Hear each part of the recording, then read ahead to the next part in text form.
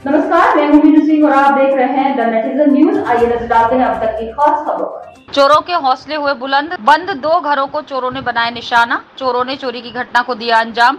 परिवार गया था घूमने नोएडा। एक्स सूबेदार और स्वास्थ्य कर्मचारी के घर में हुई लाखों की चोरी। गेट बंद कॉलोनी और सिक्योरिटी गार्ड के रहते भी चोरों ने किया हाथ साफ़। पुलिस मौके पर पहुँची, जाँच पड़ताल में जुटी। चोरों ने सोने के आभूषण, चांदी, कैश किया पार, कीमती सामान को भी ले गए अपने साथ। चोर सीसीटीवी में कैद। थाना मलपुरा क्षेत्र के केसीआर टाउन कॉलोनी बमरौली का है पूरा मामला। हमारे घर में साहब आज हमको पता लगा तकरीबन एक बजे डेढ़ बजे के करीब हम ग्रेटर नोएडा गए हुए थे अपने बड़े बेटे के पास। कब कब गए थे आप? हम चौबीस सितंबर को गए थे। ठीक है। तो आज पड़ोसी ने जो है हमारे बगल वाले ने जो है फ़ोन किया कि हमारी मैडम के पास कि आंटी आप आ गए क्या घर में? बोला नहीं हम तो नहीं आए। तो बोला आपका गेट खुला हुआ है। जी।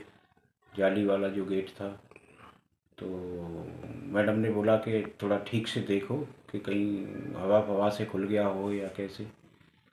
तो उन्होंने बाहर से देखा तो फिर वो हवा से नहीं खुला था। तो उधर से फिर अंदर से एक लड़का जो है गेट के ऊपर होके जंप करके दिखाया तो लकड़ी वाला भी गेट टूटा हुआ था। क्या हुआ है आपके घर में?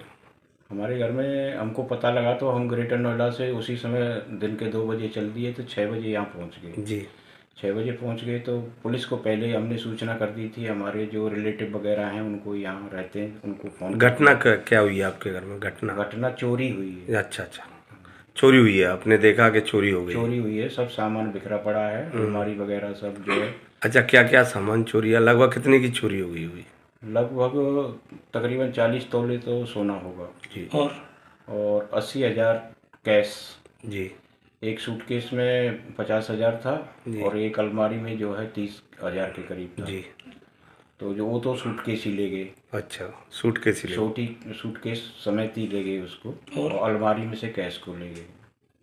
अच्छा उसके बाद में आपने देखा चोरी हुई पुलिस में आपने सूचना दी है? हाँ पुलिस में सूचना दी थी हम छः बजे शाम को यहाँ पहुँच गए तो उसके बाद जो है फिर पुलिस आई थी थाने से थाना मलपुरा से।